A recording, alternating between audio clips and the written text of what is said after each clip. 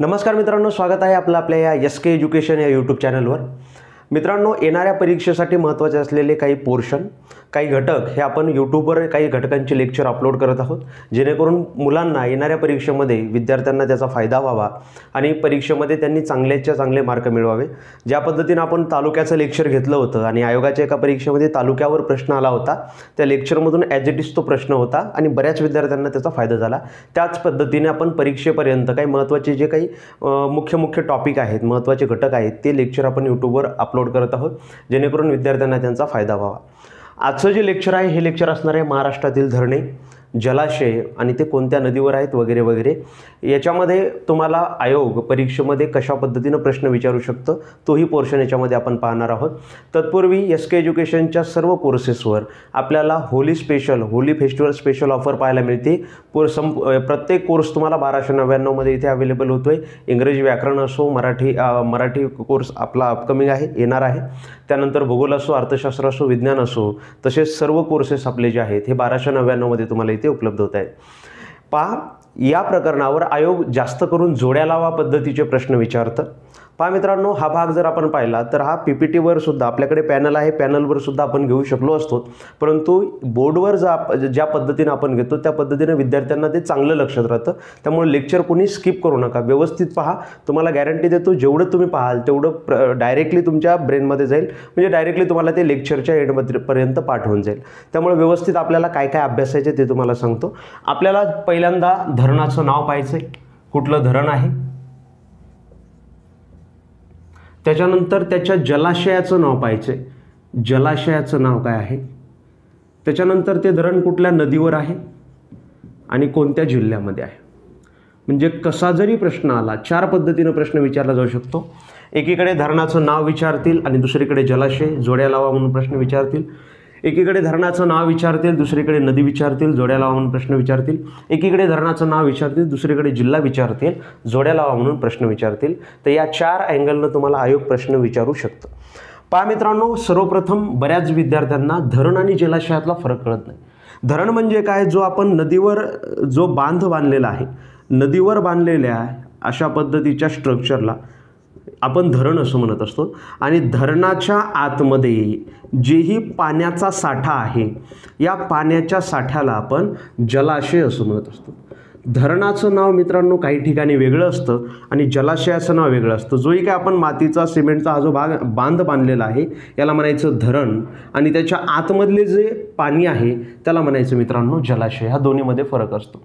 फक्त आपण याचे नावच पाहणार नाही तर काही वैशिष्ट्य आहेत ते सुद्धा मी मधामधामध्ये सांगत चालेल. काही धरणाचे वैशिष्ट्य काही धरण असे आहेत की जे युनिक आहेत त्याच्याबद्दलही आपण याच्याबद्दल बोलणार आहोत. चला आपण सुरुवात करूया आजच्या लेक्चरला आपण धरण पाहणार आहोत त्या धरणाच्या जलाशयाचं नाव ते धरण कोणत्या नदीवर आहे आणि कोणत्या जिल्ह्यावर आहे हा संपूर्ण भाग आपण इथे अभ्यासणार आहोत. पहिलं धरण इथे मी लिहितोय धरणाचं नाव आहे भंडारदरा धरण. भंडारदरा धरण. भंडारदरा धरणारा विल्सन डॅम असं सुद्धा म्हणतात. विल्सन डॅम कोणत्या धरणाचं जुनं नाव आहे? तर ते भंडारदरा धरणाचं जुनं नाव आपल्याला पाहायला मिळतं. भंडारदरा धरणाच्या जलाशयाला ऑर्थर सागर असं म्हणतात. ऑर्थर सागर. भंडारदरा धरण जे आहे मित्रांनो हे आपल्याला पाहायला मिळतं. ज्या नदीवर या नदीचं नाव आहे प्रवरा नदी. आणि ज्या जिल्ह्यामध्ये पाहायला मिळतं या जिल्ह्याचं नाव आहे अहमदनगर.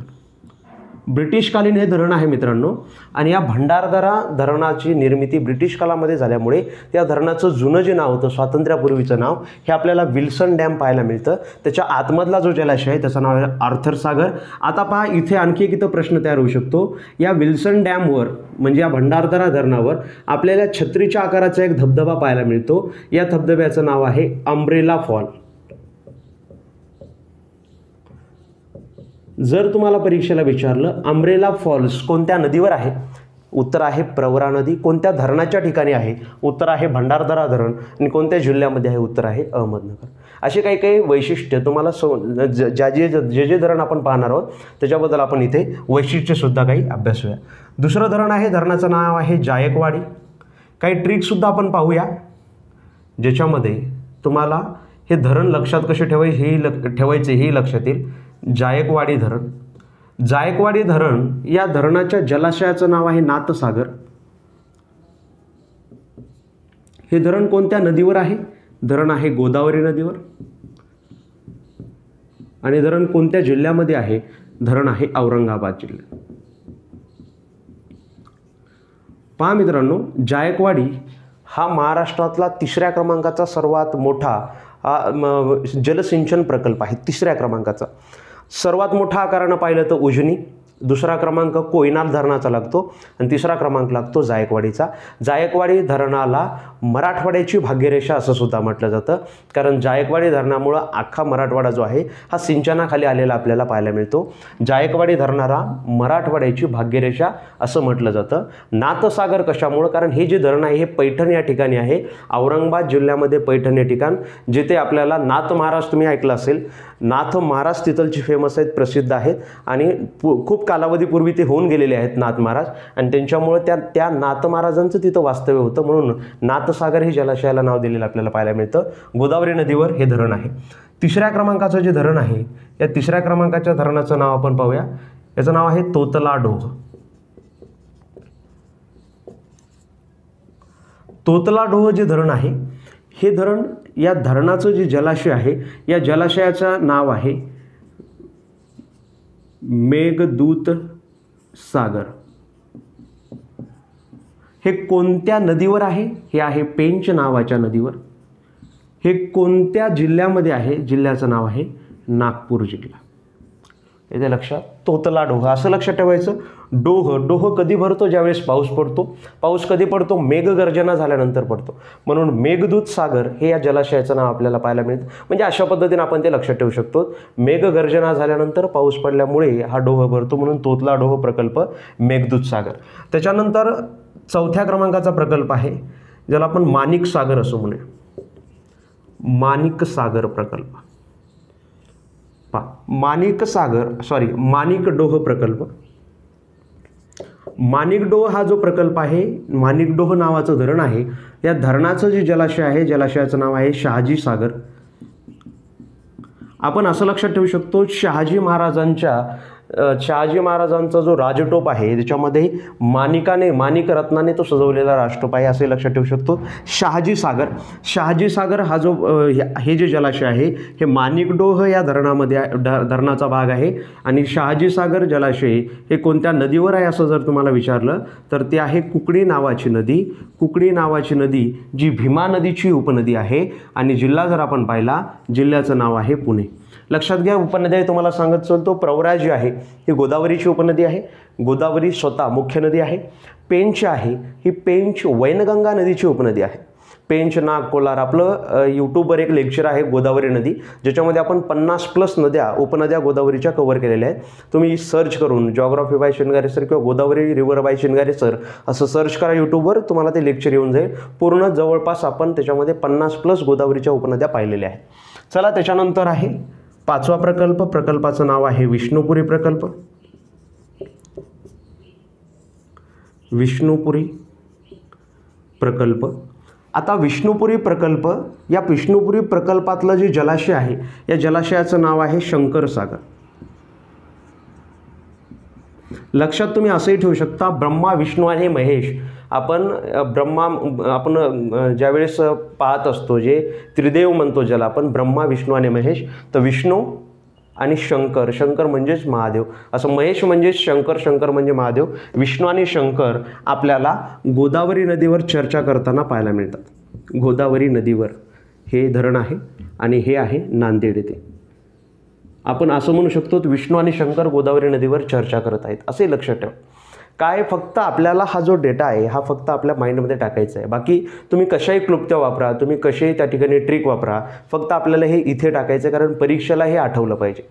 त्याच्यानंतर पहा विष्णुपुरी प्रकल्पाबद्दल असं सांगितलं जातं की विष्णुपुरी हा जो प्रकल्प आहे हा महाराष्ट्रातील सर्वात मोठा उपसा सिंचन प्रकल्प आहे.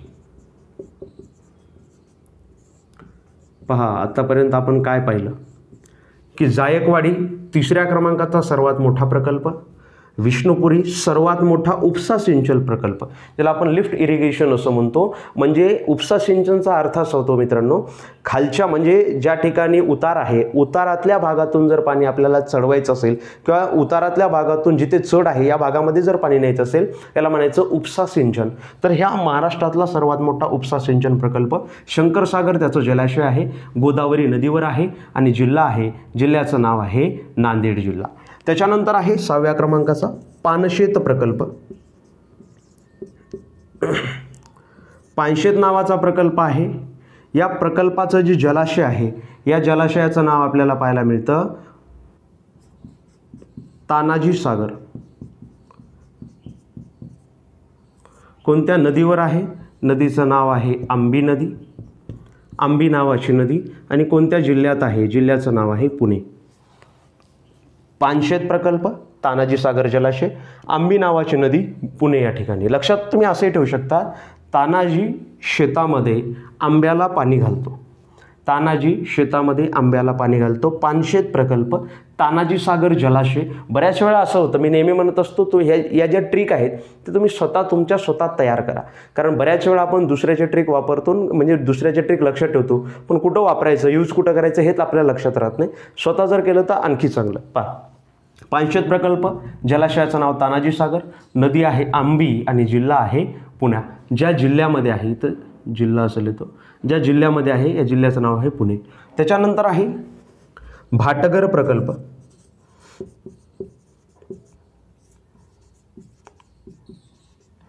भाटघर नावाचा प्रकल्प.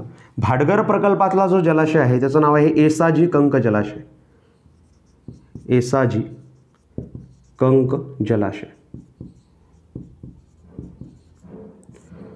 एसाजी कंक जलाशय भाटघर नावाचा प्रकल्प आहे. हे कोणत्या नदीवर आहे असं जर तुम्हाला विचारलं तर या नदीचं नाव आहे वेळवंडा नदी. वेळवंडा ही निरा नावाच्या नदीची उपनदी आपल्याला पाहायला मिळते आणि भाटघर प्रकल्प जो आहे हा आपल्याला पाहायला मिळतो पुणे नावाच्या जिल्ह्यामध्ये. येळवंडा वेळवंडा नावाच्या नदीवर जी की निरा नावाच्या नदीची आपल्याला उपनदी पाहायला मिळते. त्याच्यानंतरचा आहे आठव्या क्रमांकाचा. प्रकल्पाचं नाव आहे उजनी प्रकल्प. उजनी प्रकल्प. उजनी नावाचा प्रकल्प आहे याचं जे जलाशय आहे जलाशयाचं नाव आहे यशवंत सागर. यशवंत सागर नावाचं जलाशय आणि या यशवंत नागर सागर नावाचं जलाशय जे उजनी प्रकल्प उजनी प्रकल्पाला भीमा प्रकल्प असं सुद्धा म्हटलं जातं. लक्षात घ्या. भीमा प्रकल्प किंवा भीमा धरण असं सुद्धा याला म्हटलं जातं. यशवंत सागर त्याच्या जलाशयाचं नाव आहे हे आहे भीमा नावाच्या नदीवर. भीमा नावाच्या नदीवर आणि जिल्हा आहे सोलापूर जिल्हा. लक्ष द्या उजनी प्रकल्प हा महाराष्ट्रातील सर्वात मोठा जलसिंचन प्रकल्प आहे. त्याचबरोबर हा विद्युत प्रकल्पसुद्धा आहे जलविद्युत इथे निर्माण केली जाते. आणि याच उजनी नावाच्या धरणावर महाराष्ट्रातील सर्वात मोठा तरंगता सौर विद्युत प्रकल्पसुद्धा आपल्याला पाहायला मिळतो. ज्याच्यावर सूर्यापासून ऊर्जा निर्माण केली जाते. उजनी नावाचा प्रकल्प आहे सोलापूर नावाच्या जिल्ह्यामध्ये. भीमा नदीवर सोलापूर नावाचा जिल्हा.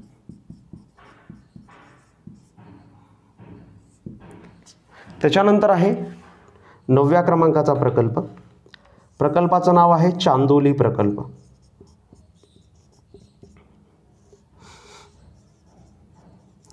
चांदोली प्रकल्पाच्या जलाशयाचं नाव आहे वसंत सागर.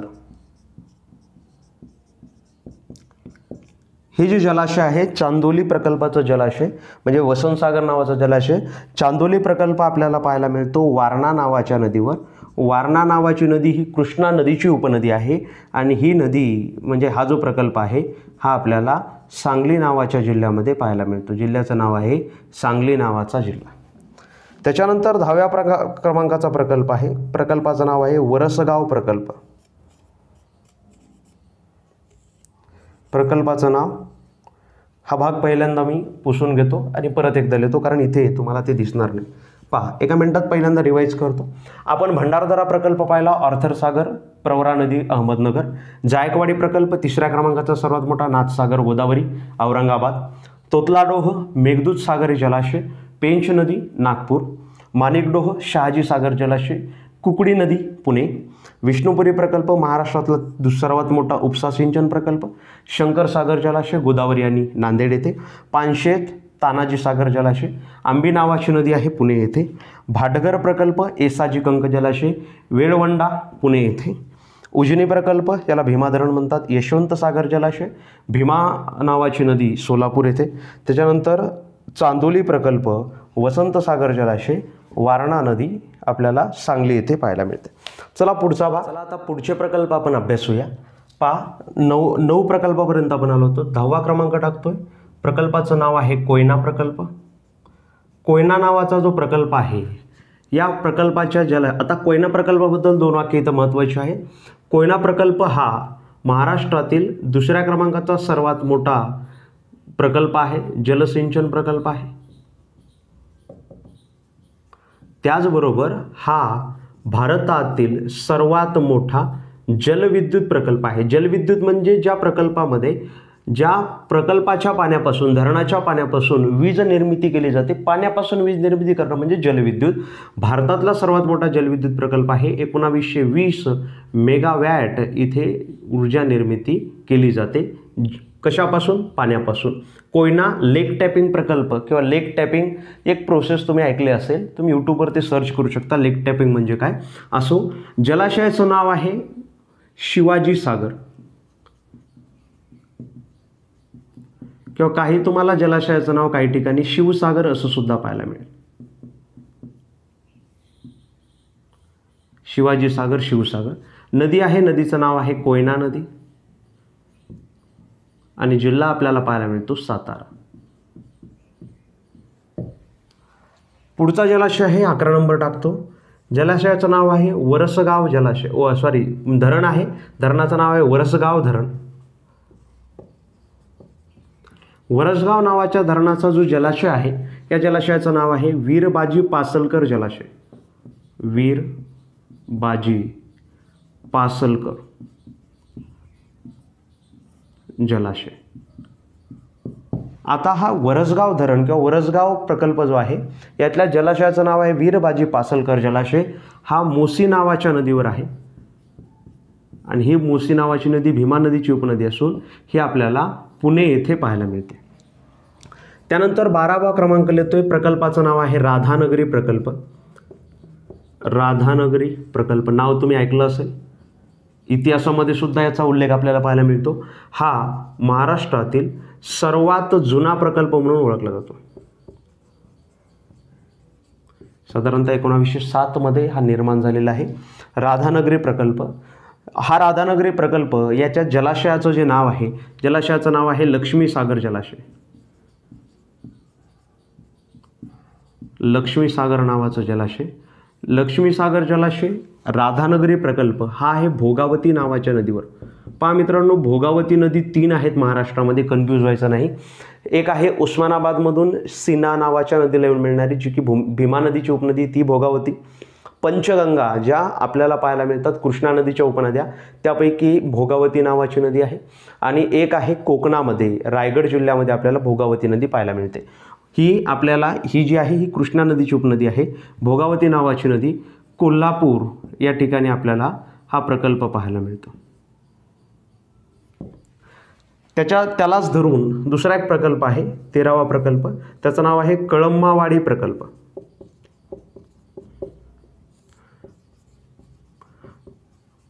पहा हे छत्रपती शाहू महाराजांच्या काळातले प्रकल्प आहेत. राधानगरी प्रकल्प आहे लक्ष्मीसागर नाव आहे त्याच्या जलाशयाला. भोगावती नदीवर आहे कोल्हापूर. हा सुद्धा त्याच काळातला आहे कळंबावाडी त्यांनीच निर्माण केलेला आहे छत्रपती शाहू महाराजांनीच निर्माण केलेला हा प्रकल्प. या प्रकल्पाचं जे जलाशय आहे त्याला त्यांचंच नाव देण्यात आलं आहे. शाहूसागर जलाशय असं याला म्हणतात शाहूसागर नावाचं जलाशय. आणि हा जो प्रकल्प आहे शाहूसागर नावाचा प्रकल्प हा दूधगंगा नावाच्या नदीवर आहे. दूधगंगा नदी ही कृष्णा नदीची उपनदी आहे आणि हा प्रकल्प आपल्याला पाहायला मिळतो. कोल्हापूर या ठिकाणी हा प्रकल्प पाहायला मिळतो. क्लिअर कळमावाडी प्रकल्प शाहूसागर दूधगंगा नदी कोल्हापूर. त्याच्यानंतर चौदा नंबर टाकतो हातनूर प्रकल्प. हातनूर प्रकल्प ज्या नदी ज्या प्रकल्पाचा जो जलाशय आहे या जलाशयाचं नाव आहे मुक्ताई सागर. पहा लक्षात कसं तुम्ही ठेवू शकता मुक्ताईनगर नावाचा तालुका आहे आपल्याला माहीत आहे. कशामध्ये? जळगाव नावाच्या जिल्ह्यामध्ये. आणि हातनूर नावाचा प्रकल्प तिथेच आहे. भुसावळ नावाच्या तालुक्यामध्ये हा प्रकल्प पाहायला मिळतो. परंतु मुक्ताई सागर हे नाव श्री क्षेत्र चांगदेव या ठिकाणी मुक्ताई सागर या ठिकाणी ते क्षेत्र आहे. आणि त्याच्यावरून मुक्ताई सागर हे हातनूर प्रकल्पाच्या जलाशयाचं नाव पडलेलं पाहायला मिळतं. हा प्रकल्प आहे तापी नावाच्या नदीवर. आणि तापी नावाची नदीवर असून हा जळगाव नावाच्या जिल्ह्यामध्ये आपल्याला पाहायला मिळतो. त्याच्यानंतर आहे पंधरावा प्रकल्प. प्रकल्पाचं नाव आहे वैतरणा प्रकल्प. वैतरणा प्रकल्प म्हणजेच वैतरणा धरणही तुम्ही तुम्हाला त्याला म्हणू शकता. वैतरणा धरणाच्या जलाशयाला मोडकसागर असं म्हणतात. पहा मोडक सागर जलाशय आपल्याला वैतरणा धरणावर पाहायला मिळतो. मोडक सागर नावाच्या जलाशयावर सुद्धा लेक टॅपिंग प्रकल्प झालेला आपल्याला पाहायला मिळतो. मुंबई महानगरपालिका जगात म आशिया खंडातली पहिली महानगरपालिका होती ज्या महानगरपालिकेनं लेक टॅपिंग प्रकल्प केला. ह्या मोडक सागर नावाच्या प्रकल्पावर एवढं लक्षात असू द्या. मोडक सागर नावाचा प्रकल्प वैतरणा नावाच्या धरणामध्ये धरणावर आणि वैतरणा नावाचं धरण वैतरणा या नदीवर आपल्याला पाहायला मिळतो. आणि वैतरणा नदी पहिली ठाण्यामधून वाहत होती आता पालघरमध्ये. कारण ठाण्याचं विभाजन झालेलं आपल्याला पाहायला मिळतं. त्याच्यानंतर सोळा नंबर टाकतो. मध्य वैतरणा प्रकल्प. हा वैतरणा नदीवरच आहे. मध्य वैतरणा प्रकल्प किंवा मध्य वैतरणा धरण. मध्य वैतरणा धरणाच्या जलाशयाचं नाव आहे बाळासाहेब ठाकरे जलाशय. कोणतं जलाशय? बाळासाहेब ठाकरे जलाशय. मध्य वैतरणा नदी कोणती? सेम वैतरणा नावाची नदी. आणि जिल्हा कोणता? पालघर नावाचा जिल्हा. क्लिअर त्याच्यानंतर याच्याच दक्षिणेला पालघर जिल्ह्यामध्ये सतरा नंबर इथे मी टाकतोय. तानसा नावाचं धरण आहे. तानसा धरण. या तानसा धरणातलं जे ज जलाशय आहे या जलाशयाचं नाव आहे जगन्नाथ शंकरशेठ जलाशय. जगन्नाथ शंकरशेठ जलाशय. जगन्नाथ शंकरशेठ जलाशय. कोणत्या नदी कोणत्या धरणावर आहे? तानसा नावाचं धरणावर. जगन्नाथ शंकरशेठ त्या जलाशयाचं नाव. तानसा नावाची नदी आहे. कोकणातील नदी प्रणालीमध्ये या नदी तुम्ही पाहिल्या असतील. आपल्या ऑनलाईन कोर्समध्ये आपण हे घेतलेलं आहे. कोकणातील नदी प्रणालीचा पोर्शन आहे. तानसा नावाच्या नदीवर तानसा नावाची नदी आपल्याला पाहायला मिळते. पालघर नावाच्याच जिल्ह्यामध्ये. कोणत्या जिल्ह्यामध्ये? पालघर नावाच्या जिल्ह्यामध्ये. आणखी दोन तीन प्रकल्प आहेत तेही आपण घेऊया. महत्त्वाचे महत्त्वाचे. तत्पूर्वी एकदा रिवाईज करतो. कोयना कोयना धरणावर शिवाजी सागर नावाचा जलाशय. नदी आहे कोयना जिल्हा सातारा. वरसगाव धरण वरसगाव प्रकल्प वीरबाजी पासलकर जलाशय मोसी नावाची नदी पुणे. राधानगरी प्रकल्प महाराष्ट्रातील सर्वात जुना प्रकल्प आहे. लक्ष्मीसागर जलाशय भोगावती नदी कोल्हापूर. कळंबावाडी प्रकल्प शाहूसागर जलाशयाचं नाव आहे. दूधगंगा नदी कोल्हापूर. हातनूर प्रकल्प मुक्ताईसागर. तापी नदी जळगाव. वैतरणा धरण मोडकसागर. वैतरणा धरण नदी पालघर. मध्य वैतरणा प्रकल्प बाळासाहेब ठाकरे जलाशय. वैतरणा नदी पालघर. तानसा धरण जगन्नाथ शंकर शेठ जलाशय. तानसा नावाच्या नदीवर पालघर. आणखी काही तीन चार महत्त्वाची आहे तीही तुम्हाला इथे लिहून देतो.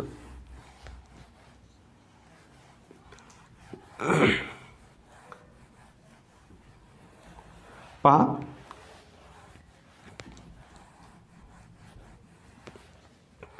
मुळा नावाच्या नदीवर एक प्रकल्प आहे सतरा अठरा नंबर लिहितोय. या नदीचं नाव आहे मु- प्रकल्पाचं नाव आहे मुळा प्रकल्प. आता पहा मुळा नावाच्या नद्या सुद्धा दोन आहेत. एक मुळा प्रवऱ्याची उपनदी असून जी गोदावरीची उपनदी ती मुळा. आणि दुसरी मुळा आपल्याला पाहायला मिळते ती मुळा आणि मुठा ज्या काठावर पुणे शहर वसलेलं आहे. तर ही प्रवराची उपनदी असलेली मुळा. या मुळा प्रकल्पावर जो जलाशय आहे जलाशयाचं नाव आहे ज्ञानेश्वर सागर.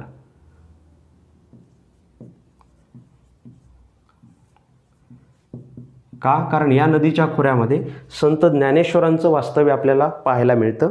याच नदी प्रवरा मुळा प्रवरा आणि मुळा यांचे संगम जो आहे तो नेवासा या ठिकाणी होतो. आणि याच संगमस्थानावर ज्ञानेश्वरांनी सोळाव्या वर्षी ज्ञानेश्वरी लिहिली होती. म्हणून मुळा प्रकल्प याच्या जलाशयाला ज्ञानेश्वर सागर असं नाव देण्यात आलेलं आहे. नदीचं नाव आहे मुळा नदी. आणि जिल्ह्याचं नाव आपल्याला पाहायला मिळतं अहमदनगर. त्याच्यानंतर प्रकल्प आहे पुढचा. प्रकल्पाचं नाव आहे माजलगाव प्रकल्प. माजलगाव प्रकल्पाचं जे जलाशय आहे या जलाशयाचं नाव आहे गोविंद सागर. नदी आहे या नदीचं नाव आहे सिंदफना नदी. सिंदफना नदी जी आहे ही गोदावरी नावाची नदी आहे. या गोदावरीची उपनदी आहे सिंदपना नदी आणि जिल्हा आहे जिल्ह्याचं नाव आहे बीड नावाचा जिल्हा. पहा त्याच्यानंतर वीस नंबर वान प्रकल्प. आता हे तापी खोऱ्यामध्ये आपण आलो. वान प्रकल्प याच्या जलाशयाचं नाव आहे हनुमान सागर जलाशय. हनुमान सागर जलाशय. हनुमान सागर जलाशय जे आहे हे वान नावाच्या नदीवर आहे जी की तापी नदीची उपनदी आहे.